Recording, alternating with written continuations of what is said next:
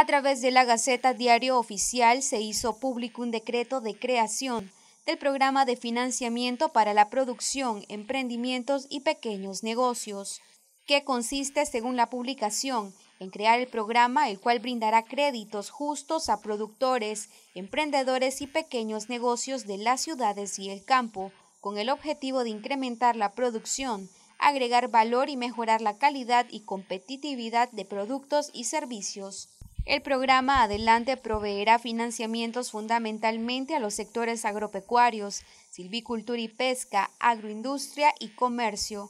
Será coordinado por un consejo directivo el cual garantizará la implementación y desarrollo de este programa y estará integrado por dos delegados del Ministerio de Hacienda y Crédito Público, un delegado del Ministerio de la Economía Familiar Comunitaria Cooperativa y Asociativa, y un delegado del programa Usura Cero.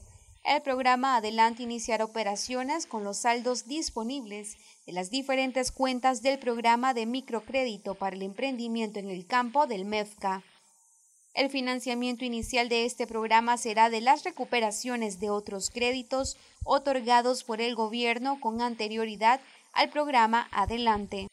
Los detalles en la Gaceta aseguran que podrá financiarse a través del presupuesto general de la República, mediante fuentes de rentas del Tesoro, donaciones y préstamos que puedan ser gestionados por el gobierno de Nicaragua.